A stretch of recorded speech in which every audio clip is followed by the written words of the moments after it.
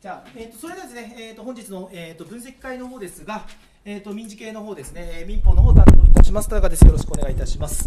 えー、と本日あのレジュメとしてまあお配りしているものにつきましては、えー、とまあ分析会の資料の方ですね、その2つというあの一部ということになりますが、えー基本的には民法については。まあ、あのどちらかというと考え方の視点であったりとか、まあ、あとはまあこの後、えお話しするところもありますけれども、まあ、所有権留保と譲渡担保、集合譲渡担保の関係という、まあ、比較的新しい判例が出題されてるんですよね、平成30年かな、の判例が出ていてで、これについては解けなくてもいいのかなという、まあ、実際その場で分析して検討していくっていう現場思考型の問題だったと思いますので、えー本件での思考過程みたいなもの、特にあの設問2についての思考過程について、えーお話しできればなと思っております。じゃあ早速ですけれども、えー、と始めましょうかね。多分この後実務基礎もあるんで大変だと思いますので。じゃあそれではですね、えー始めましょう。よいしょはい、よろしいでしょうか。はい、じゃあそれではですね、えー、と本日の、えー、と論文式試験の分析会ということで、えー、と令和3年の民法の、えー問題について、えー分析及び、まあ、一定程度の回答筋を、えー作っていきたいなと思っております。えーまずですね、えーまあ、今年出題された、まあ、民法ですけれども、まあ、昨年度の、まあ、物件の中心ですね、昨年度は、まあ、ほぼ昨年度は、まあ、債権世代ですね、債権世代や、まあ、差外行為取り消しということで、まあ、民法改正施行後の1年目ということで、改正法の内容が聞かれてましたが、まあ、本年も引き続きですね、えー特にまあ事実の1については、まあ、契約法に関する出題ということで、まあ、そそこまで改正法ど真ん中っていう問題ではなかったけれども、まあ、改正法が一応対応される形で出題されてていると。で、設問の1に対して設問の2の方が、まあ、所有権、えー留保と、まあ、集合動産譲渡担保ということで、えーまあ、物件法からの出題ということで、まあ、バランスはいい感じですよね。え1問目で、えー契約法の問題で、2問目で、えー物件法ということで出題されていて、でもうちょっとあのもしかするとね、あの債権法のも改正内容を真っ向から問うみたいな、えー可能性もあったところですけれども、まあ、特に設問の2の方は、まあ、内容としては、まあ、今まで従来、えー出題されている傾向を踏襲しているものと、まあ、いうことが言えると思います。で特に、えーちょ勝負どころになるところについては、やっぱ設問1から順番にちょっと見ていきますね。えー設問1ですが、問題は、まあ、問題内容を確認してから、えーちょっと内容を見ていくことになりますが、はいえー、と設問としては設問1で、えー、と本件ワインの売買契約及び賃貸借契約、えーこの両者を解除したいと考えている。で B からの反論にも言及しつつ A の主張が認められるかを検討しなさいということで、まあ、設問としては2つですね、え本件ワインの売買契約と本件の賃貸借契約の2つの解除について A が検討していますからその2つの解除が認められるかどうかということですから、まあ、特に問題文で言及はないけれども、えその解除原因ですね、え解除原因となる法的根拠を示した上でその解除原因が認められるかどうかといういうことを、まあ、分けて論じていくということが求められていたということになります。で特に、えー本件においてはその賃貸借契約の解除が認められるかどうかというところが、まあえー大きな山場とだと思いますので、まあ、問題文の事案もちょっと確認しながら、えー売買と賃貸借それぞれ見ていきます。まずですね、えーまあ、事実関係の1から見ていきますが、まあ、A が、まあ、主品及び食料品の卸売をしたる業務とする株式会社であってで令和3年4月頃に、えー高級ワインの取り扱いを新しく開始することを計画してで海外から種類を輸入販売することをしたる業務としての、えー株式会社 B と協議を重ねた上で、まあ、AB 間においては売買契約が締結された、まあ、これがまず最初の契約内容ですよね。でで一応契約内容については、まあ、具体的に当事者は AB、えそして、えー内容として目的物としては冷蔵倉庫庫に保管中のオツ農園の生産にかかるワイン1万本、まあ、一応今回本件ワインと定義されているけれども、まあ、少なくとも、えー冷蔵倉庫に保管中のオツ製農園の生産にかかるワイン1万本でこの公に保管中っていうことから、まあ、とりあえず、えーまあ、言ってみれば特定物、不特定物っていうふうなところから見ると、あの、えー、と制限種類だということですよね。えー言ってみれば、あの、高倉庫内に保管中のワインに限定されていますから、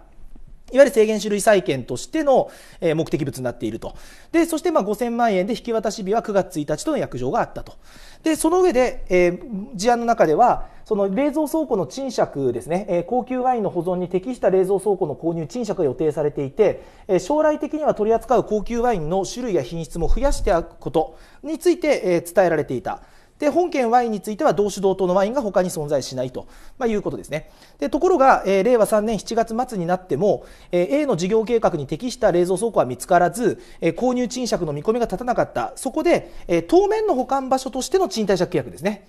適切な規模の冷蔵倉庫が見つかるまでの、当面の保管場所としての同人の所有する冷蔵倉庫項を借りたいと伝え交渉し、B の了承を得て8月27日、冷蔵倉庫項を、賃料20万円、そして賃借期間が9月1日から1年間の約定で賃借するための契約が締結されているでこの本件賃貸借契約が2つ目の契約で、翌28日、冷蔵倉庫項から本件ワイン以外の種類をすべて搬出した上で、え、賃貸借契約の開始に備えられているということですね。でちなみにこれ問題文上は明らかではないけれどもその本件ワイン以外の種類をすべて搬出しているということを考えるとこの冷蔵倉庫というのはそこそこ大きな規模のものであることは、まあ、想定できますよね。えー、そのワイン1万本以外のものについてももともと種類が入っている倉庫について、えー、賃借をしていますということです。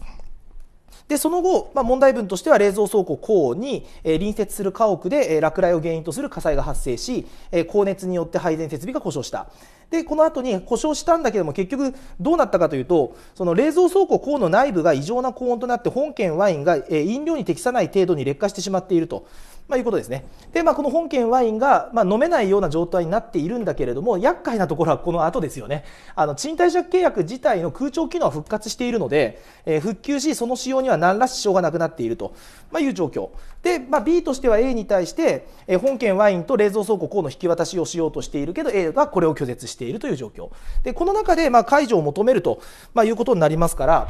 少なくとも、まず本件の売買契約と本件の賃貸借契約を分けて、まあ、解除原因選定していくということになります。でおそらく問題文としては設問1としては本件売買契約については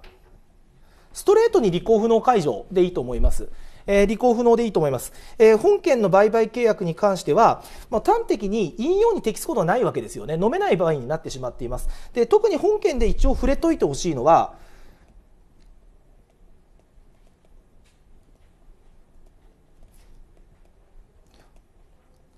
あの本件ワインの引き渡し債権ですね。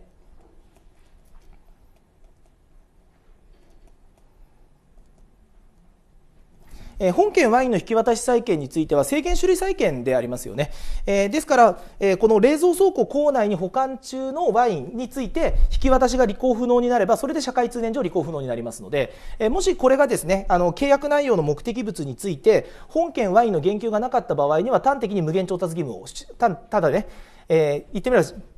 えーと、非特定物債権ですね。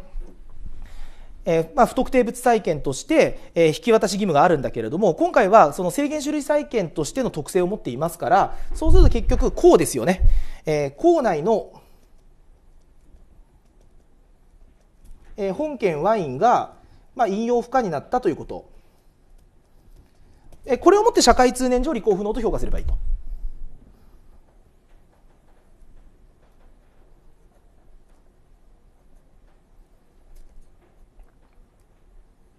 で、まあ、今日のねあごめんなさい社会通念上履行不能になったと、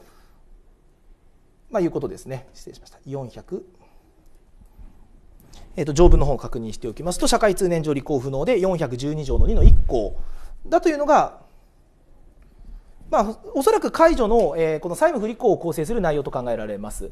で特にこれはあの予備試験の,、ね、あの実際のその現場思考として考えておいた方がいいかなっていうのはあの明らかに今年の問題っていうのは契約内容をわざわざ列挙してるんですよね。えー、特に設問1でも、まあ、いつもだったらこのような形でねあの当事者目的物みたいな形であの費目を書いたりとかあとは設問2もそうなんですよね。設問2でも丸1から丸3みたいな形で、えー、契約条項について、えー、載せていると、まあ、いうことを考えるとその契約条項に特段の意味がある可能性が高いですからそうすると本件のワインというのが一応この庫、えー、倉庫内に保管中のワインというのが引き渡しの目的物になっているというところから、えー、それが引用不能になったことで履行不能になったと。で履行不能ということであればはい、えーと、542条での無債国解除ということでしょうね。えー、履行不能になりますから542条1項1号解除。を考えていくとこの筋道がまず拾えていればいいかなと思います。で個人的にはこれ B からの反論にも言及しなさいってありますけれども対して B から反論ができるようなことはないのかなって気がするんですよね。あの一応回答例とかでもあるし、まあ、私もまああえて書くならばその物理的に滅失してるわけではないと。まあ、いう点ですね。物理的に滅失してはないけれども明らかにこれっていうのは契約内容適合物ではなくなってますからもうワインの引用ができないという時点で。ですから、まあ、あえてまあ B からの反論として考えられるものとしては一つとしては一応ワイン自体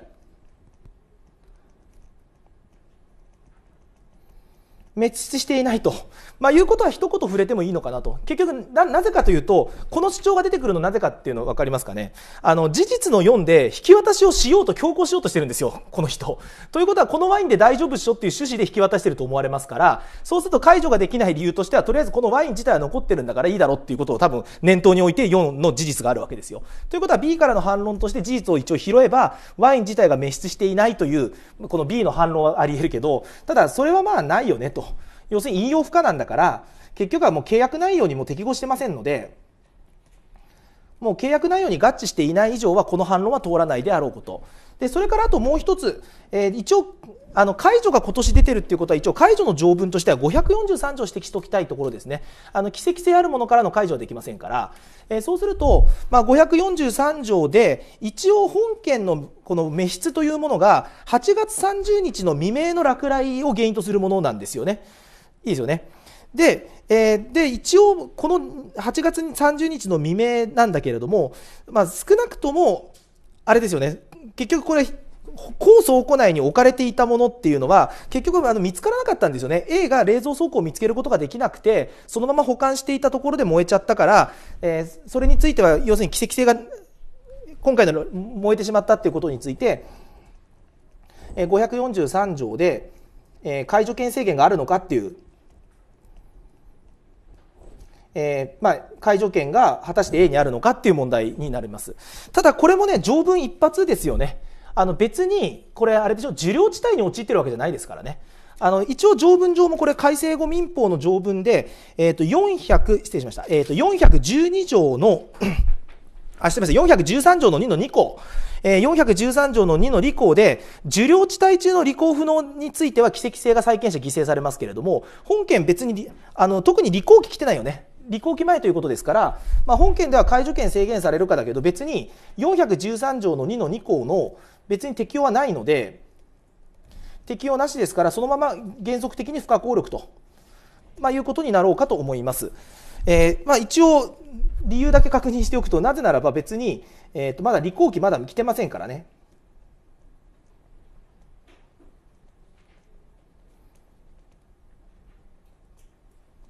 え、履行期特に来ていませんので、えーまあ、B の反論としては、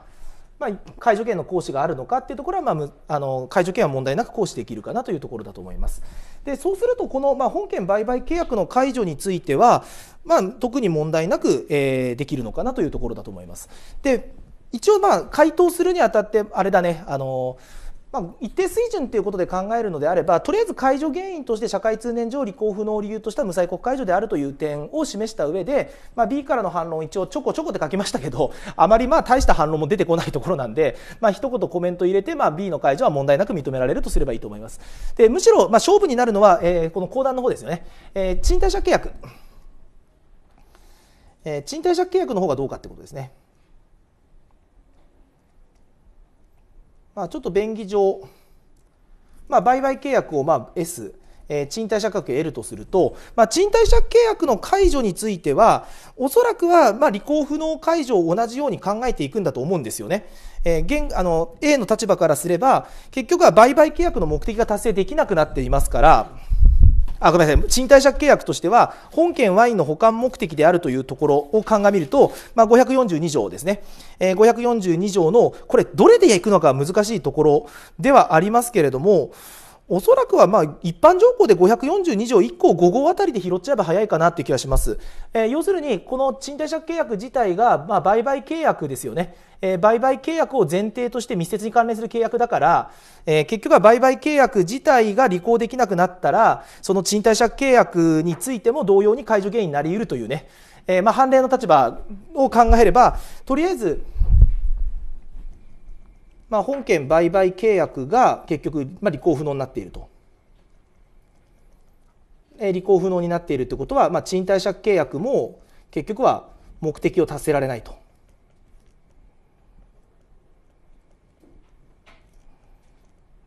目的を達することができないということで542条のまあこれ何どれでいくのか難しいけどおそらく1号か5号のいずれかで解除しちゃえばいいかなっていうによる解除という主張だと思われます。まあ、当事者からしてみればですね当事者の主張からしてみれば、えー、このえー、こんな賃貸借したところで意味ねえよっていう話なわけですよね、えー、本件ワインが滅失しちゃってるわけだから、えー、いらないよという立場。でこれ B の反論としてはここは有力な反論が立ちますよね、え契約違うって話です、え本件売買契約と本件賃貸借契約当然別契約ですから当然 S 契約これ B からの反論としては当然 S 契約売買契約と賃貸借契約っていうのは、えー、別個の契約ですで別個の契約ということは結局は売買契約の履行不能っていうのが売買契約が履行不能だからといって賃貸借契約の原因にはならないよというのが B からの反論として立つわけです。で特に事実としてね、今年の民法は特に事実いかに適時するのかってところになるんですよね。あの要するに空調機能が復旧していて、その引き渡し時においては、冷蔵倉庫としての機能を回復してるんですよね。ですから結局、この L 契約自体に特に価値がないんですよ。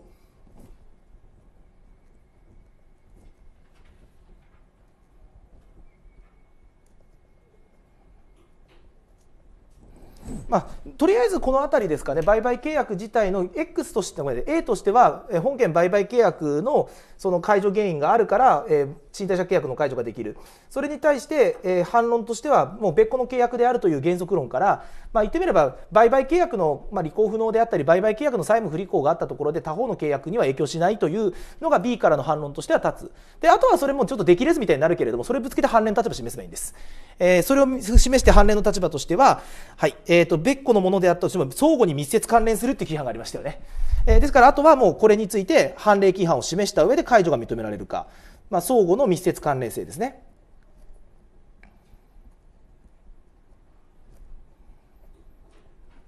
相互に密接な関連性があるかどうか。えー、そして、まあ、もうちょっと触れておくと、一方の契約の不履行が他方に、要するに密接に関連しているってことですね。だからまあ一方の不履行により、他方の契約目的が既存されるような場合と、まあ、いうことですね。この相互に密接な関連性があるかどうか、まあ、言い換えれば、一方の契約の不履行によって他方契約の契約目的を達することができない。まあ、まさにここに書いてあると繰り返しになっちゃうんですけれども、まあ、この A の主張の繰り返し的な部分はあるけれども、まあ、あえて関連のキーワード出すんだったら、相互に密接な関連性があるんだったら、えー、この解除、ですね、えー、この売買契約の可視、まあ、今回売買契約の可視については本件 Y の引き渡しの社会通念上履行不能です、えー、本件売買契約の債務であるところの社会通念上引き渡しの履行不能をもって本件賃貸借契約を解除するということを認めればいい。ということですね。でおそらくちょっとこれはねあのちょっと現場感ということになるところはありますがおそらくこの法律構成を立てることまではなんとか、えー、いけるかなというところで、えー、勝負になるのはこれ当てはめかなと思います。あの具体的事実の中で正直割れるとは思うんですよね、えー、正直割れるとは思うんだけれどもそのどっちが正解とは言わないけれども正直密接関連性否定されるような事情も結構あるのかなというえ気はしています。え特にあの例えばですけれどもあの問題文の中では当面の保管場所事実の2ですね、まあ、プラス方向に働きそうな事実をちょっと適時すると、まあ、プラス方向の適時としてはとりあえずはこの事実ですよね、えー、事実の2にある通り適切な規模の冷蔵庫が見つかる場所の当面の保管場所として同人の所有する冷蔵倉庫庫を借り受けたいと伝えた上で交渉が行われて、えー、本件の賃貸借契約が成立していること。でそしてあとはもう一つほど触れておくとですね、一応なんかワインの保管場所として、その使うということについては一応話としては言ってると。まあ実際書いてある通り、そのもともと高倉庫に保管されていたこと。まあおそらくあのプラスに働く事実。ですね、その本件の売買契約とその賃貸借契約が密接に関わっているということを肯定しうる事実としてはまず一つとしては契約目的物がそもそもこうにあったってことですよね。その契約目的度がそもそも高層庫内にあったという事実やそれから本件賃貸借の契約の経緯としてこれですよね当面の保管場所として同人の保有する冷蔵倉庫を借りたいと伝えていることから少なくとも本件ワインの保管場所として本件冷蔵庫が予定されていたということにはおそらく争いはないんだと思う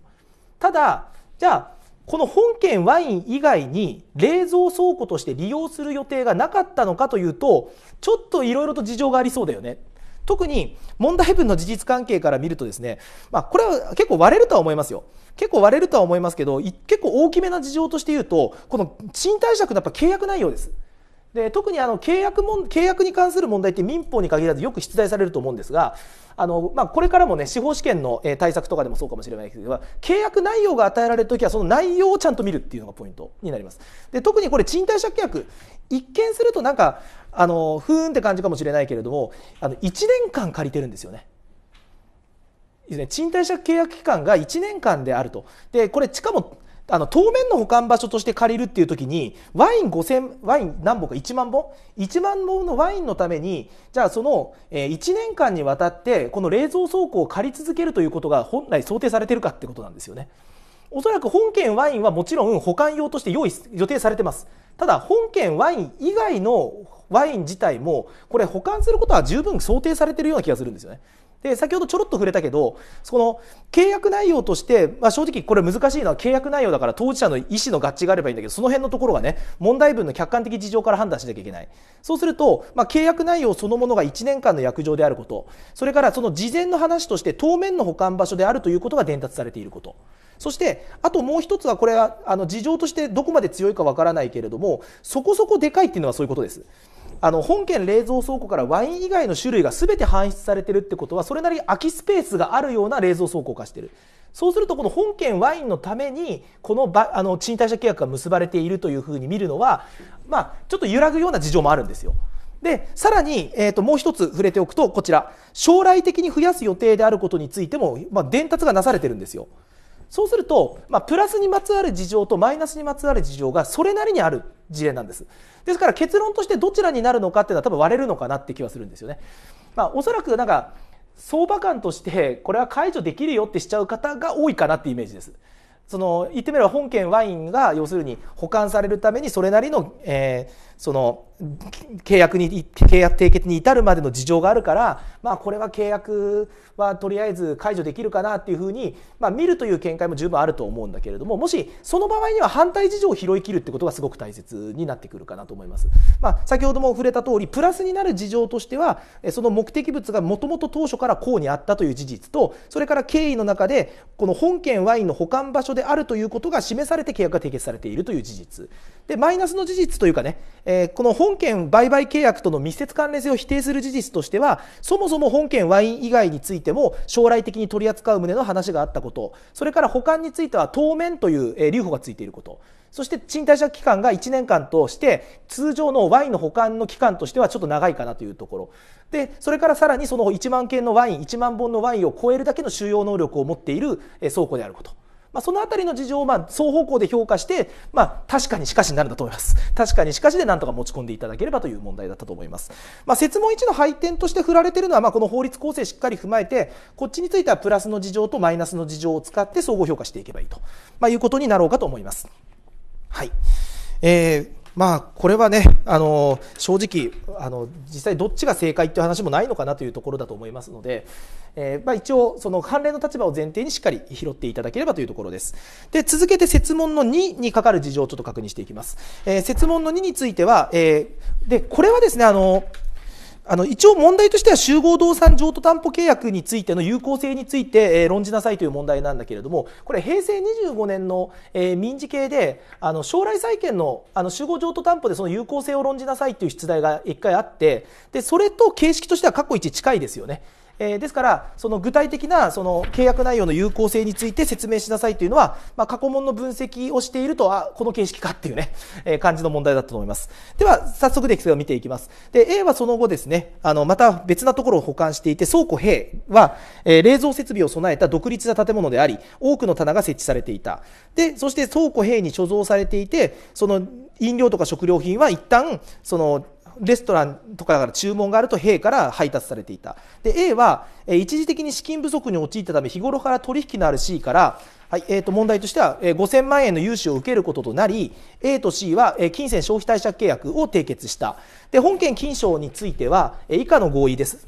じゃあ問題としては1番についてはこの有効性について議論しなきゃいけないので問題としては A は A の C に対する金銭消費貸借契約にかかる貸金債権を担保するため貸金債務を担保するために、倉庫塀内にあるすべての種類アルコール類を目的物として C に対して所有権を譲渡し占有改定によって保護で引き渡す。そして通常の営業の目的のために、えこの種類を第三者に相当な価格で譲渡することができる。まあ、よくある集合譲渡担保の動産譲渡担保の約定ですよね。そして、えこの兵内の種類を第三者に譲渡した場合にはその地帯なく同種同品質の種類を、え倉庫兵内に保管する。で補充された種類は補充された種類は倉庫兵に搬出された時点でえ当然に1の譲渡担保の目的となるというね、え集合動産譲渡担保契約が締結されている。で、その後ですね、えウイスキーの流通業者 D から、えウイスキー1ダースを、えこの D から購入した。で、このウイスキーの売買契約の条項がこれなんですよね。ウイスキーの引き渡しは、え同月20日。で、代金の支払いは、え翌11月20 11月10日。で、ウイスキーの所有権は、代金完済をもって D から A に移転するということだから、まあ、所有権留保特約がついていると。えー、所有権留保特約がついていて、そして D が A に対して引き渡し日以降、本件ウイスキーのえー、全部または一部を転売することを承諾すると。つまり本件のウイスキーの引き渡し日は、こちら10月20日ですね。10月20日にウイスキーを引き渡すんだけれども、引き渡した後には所有権留保がついてるんだけれども、一部の転売については認めるという、まあ、このような、契約がそれぞれ結ばれていた。で、まあ、大体こうすると、あの、まあ、D としてはウイスキーの売買契約に基づいて、その倉庫に搬入した。で、で本件ウイスキーというのは、えー、種類とともに棚に保管されたけれども、まあ、まあ、区別ができる状態になっていると。区別ができる状態になっている。で、その後、A はウイスキー代金を払わない。まあ、いつ、まあ、多分そうだろうなって話ですよね。えウイスキー代金払わないから、じゃあ A に対して所有権留保に基づいて引き渡しを求めたんだけれども、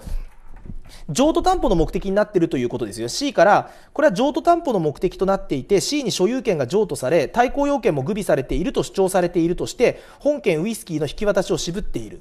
で、これに対して D は、えまず、D の丸2の主張については、本件譲渡担保契約は目的物がはっきりせず無効であること、そして仮に本件譲渡担保契約が、有効であるとしても、本件譲渡担保契約の効力が及ばないことなどを主張している。で、ここで、えー、括弧1、括弧2に分かれて分析をしていくということになります。で、設問1については、え本件譲渡担保契約の有効性について、第三者に対して主張することができるかについて論じる。ということは、論じるべきことは2つ。有効性と第三者対抗の2箇所ですね。え有効性が、まずそもそもね、有効性があるかどうかっていう議論と、その有効性を第三者に対抗できるかっていうことについては、まあ、別個の議論になりますから、えその2つについて、まあ、拾っていくということになります。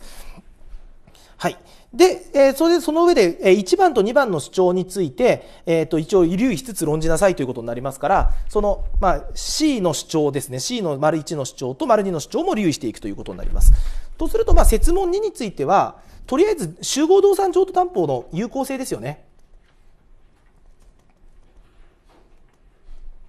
ごめんなさい、J って書いて譲渡にしちゃいます。で、でこれについては、とりあえず、あの、問題の所在としては、とりあえずは特定性の問題ですよね。えー、のところをしっかりと触れておけばいいかなと、いうところです。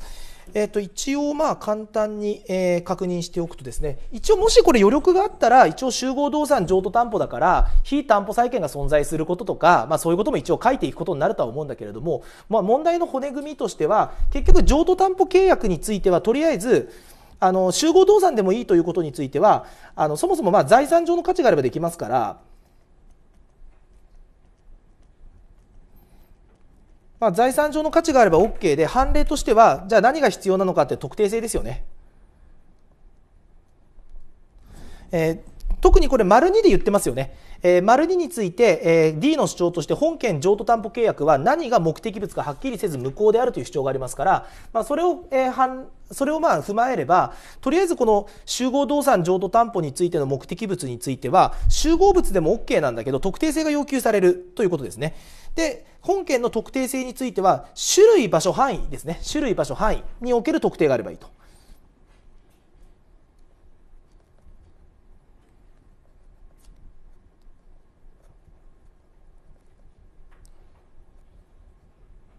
について特定があればいいということになります。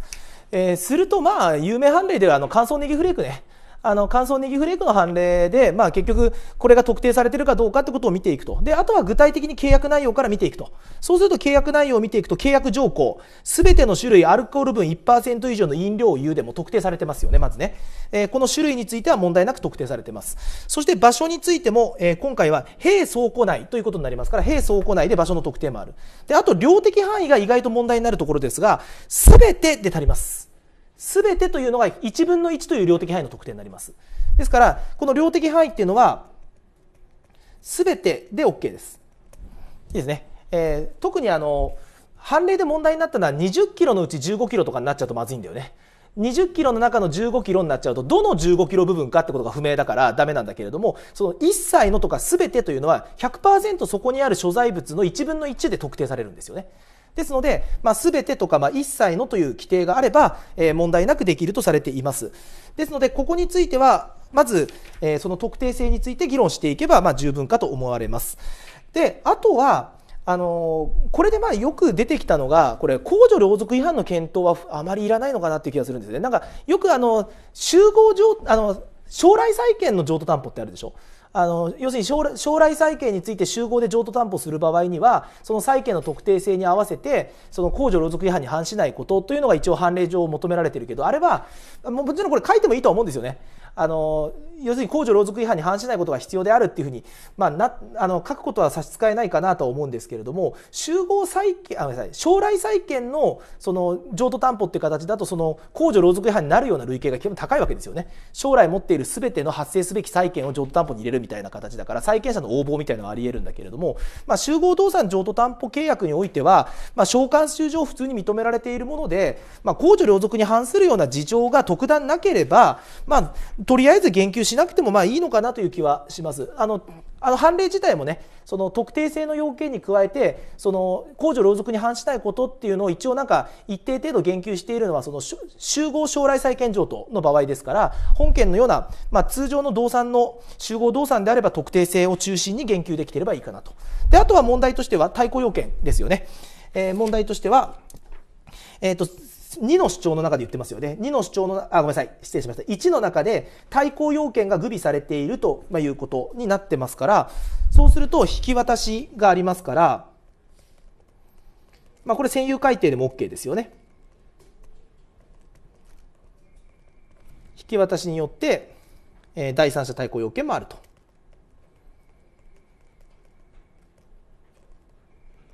まあ、もうここら辺は問題ないかなというところだと思います。はい。え、ー、と、一応占有改定の方法は183条ですね。183条の方法でも、まあ、全く引き渡し、176条の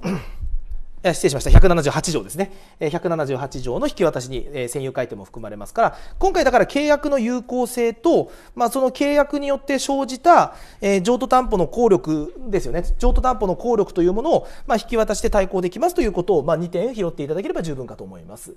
で、これが設問1ですね。で、えー、で、これでまず集合動産譲渡担保契約自体ができるとして、で、次の問題なんですよ。おそらく、結構現場で大変だったのは。あの、要は D は C に対して本件ウイスキーの所有権を主張することができるのかを論じなさいという問題だったわけですね。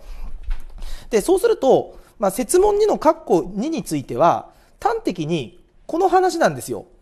譲渡担保の効力と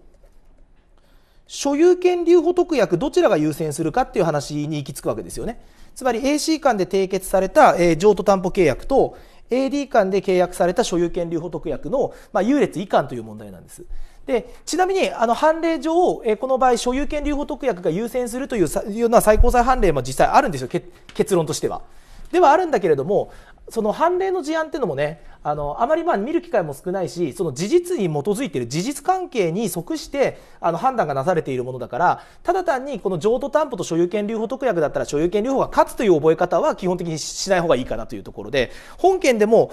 要するに具体的なこの事案の中でどっちを優先させるべきかということをしっかりと見ていくことがポイントになります。でその時にやはり私の個人的な現場の現場でもしこの問題を見た時にいや所有権留保と,、えーと、譲渡担保どっちが先先なのっていう話は多分パッと見て思いつかないですよね。そので出てこないこともある。その時にどうするかって言ったら何のためにわざわざ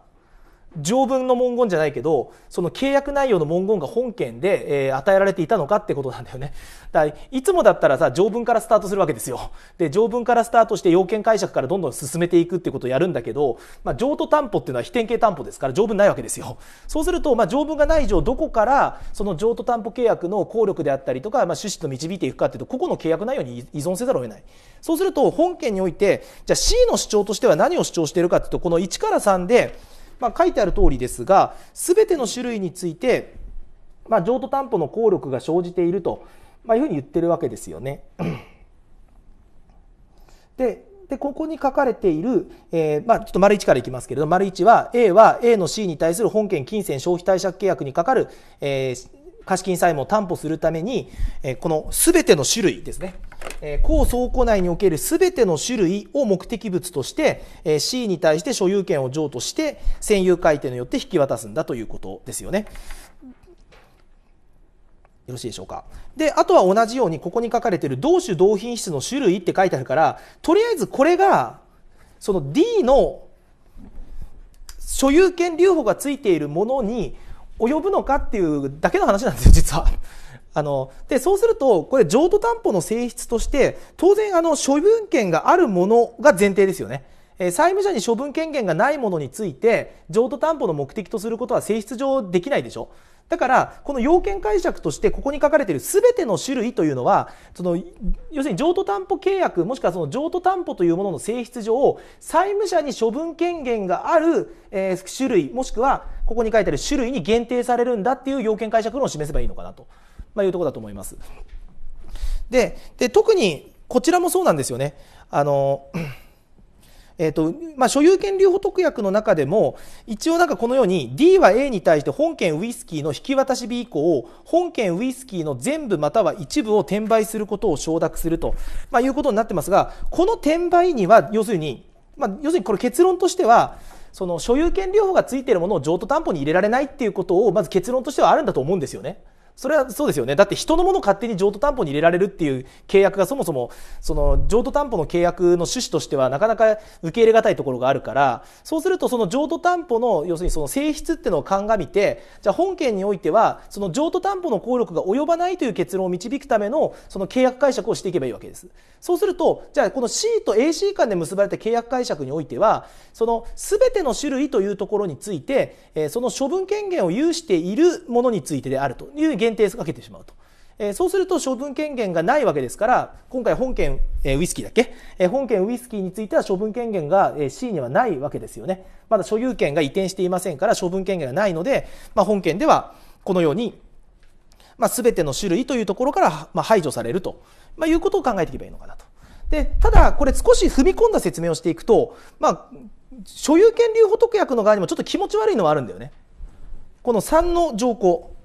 引き渡し日以降にその D は A に対してウイスキーを転売することを承諾するという文言がついちゃってるんですよね。ということは要するにこれだけを見るとそのウイスキーの一部を転売するという権限を A に対して引き渡し後に与えているとも読める。でそうするとじゃあ転売することができるということは譲渡担保に供することもできるんじゃないかという有力な反論は立つんですよ相手からは。つまり、まあ、この要するに D としてはあのごめんなさい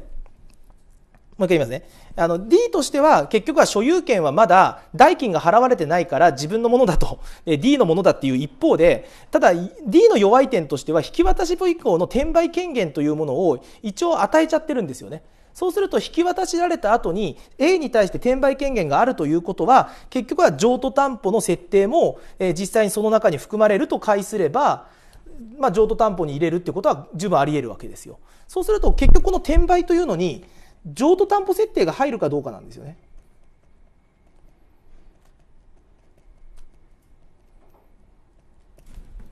譲渡担保設定が含まれるか。で、こちらの方で言うと、同種で同品質の種類とか、この種類というものは、結局、うんと、まあ、処分権限かな。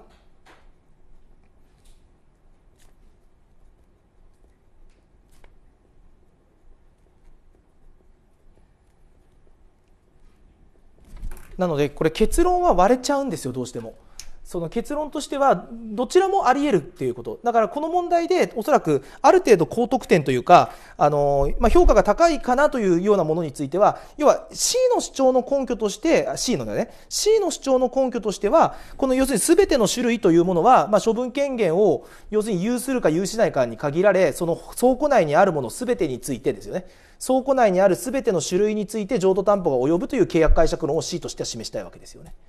で C としては示したいし、もしそれが C としてはまず第一義的には処分権限を有しないものであっても、その倉庫内にある全ての種類であれば、譲渡担保の効力が及ぶんだという文言解釈を示して、で仮に処分権限を有するものに限られるとしてもね、処分権限を有するものに限られるとしても、所有権留保特約で転売権限を与えてるじゃないかと。引き渡し後の転売権限が与えられてるんだから、えー、所有権自体はまだ所有権留保がついてるけれども、その、えーいいね。この種類については、えー、この所有権留保特約で転売権限が、えー、A に与えられている以上は、えー、この全ての種類の中に含まれるんだというのが C としての解釈論。ということです。C としての解釈論。で、じゃあ D としての解釈論どっちなのかって D としては、まあ、とりあえずこちらのこの全ての種類というものは処分権限を有するものに限られるってことを前提として、じゃあこの所有権留保特約についているこの転売というのはあくまでも転売に限定する趣旨。えー、つまり譲渡担保に供するといったような担保目的での提供というのは含まれずこれは転売によって、えー、売却をすることに限定するものにとど、えー、まるんだという、まあ、そういう主張になるんだと思います。でどちらの結論も十分あり得るとは思うんだけれども、まあ、類似の判例でどういうふうに言ってるかというと結局これ所有権留保者が勝ったんですよね。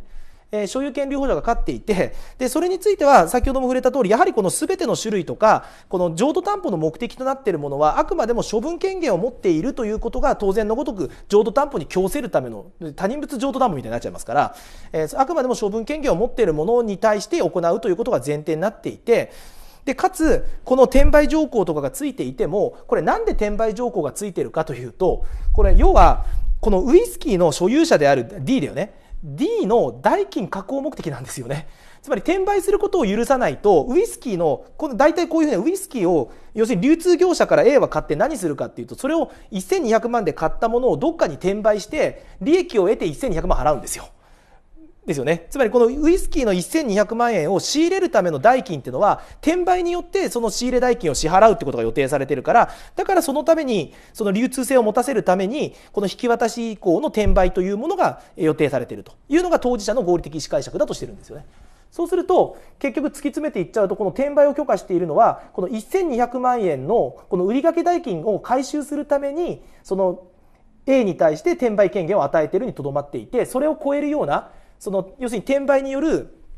その売掛代金の回収といったのを超えるような、えー、そのような譲渡担保設定まで、えー、与えている趣旨ではないというふうに考えれば、まあ、この転売するっていうのはあくまでも譲渡担保などは含まれない、えー、単なる仕入れ代金の確保のための転売に限定すると、まあ、いうことは十分あり得ると思います。で、まあ、正解筋っていうのがな、まあ、どっちなのかっていうとね、難しいところではありますが、まあ、いずれにせよですね、今件の問題っていうのは、まあ、今年の民法の、まあ、これであれになりますけど、今年の民法の特徴としては、とりあえず、その、どちらに転んでもおかしくないような問題なんですよね。ですから、事実評価をいかに、鉄門1に関しては、その結局は賃貸借契約とこの売買契約の密接性っていうのを見るにあたって、まあ、事実関係、プラスに働く事実、マイナスに働く事実を適時して、えー、説得的に論じられればいい。で、えー、設問2に関しては、その所有権留保と譲渡担保の優劣っていう、おそらく知識で処理するような問題ではないので、まあ、当事者の両方の主張ですよね。で、その契約条項の文言から出発するってところがポイントだと思います。その契約条項を見た時に C としては、全ての種類というものをどう解するか。で、転売というのをどう解しているのか。で、D の側からすれば、その所有権留保特約を優劣優先させるためにいかなる解釈を取っているのか。で、その解釈の対立点を見出した上で、まあ、自分なりに妥当な見解を導けていればよろしかったのかなと思います。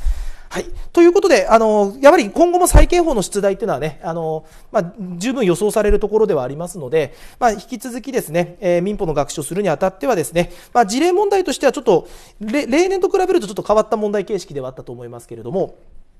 まあ、しっかりと、えー、まあ、問いに答えていくっていう観点からすると、他の科目に比べると、まあ、設問1も設問2もこれについて答えてくださいって形で細切れに、えー、質問しているところだと思いますので、まあ、うまくその問題でちゃんと配点はそれぞれに振られてるはずなのでそこについて一つ一つ答えていくというところがポイントだったのかなと思います。はい、じゃあそれではすみません少し長くなりましたけれども、えーと、令和3年の予備の、えー、民法の分析は以上といたします。それではお疲れ様でした。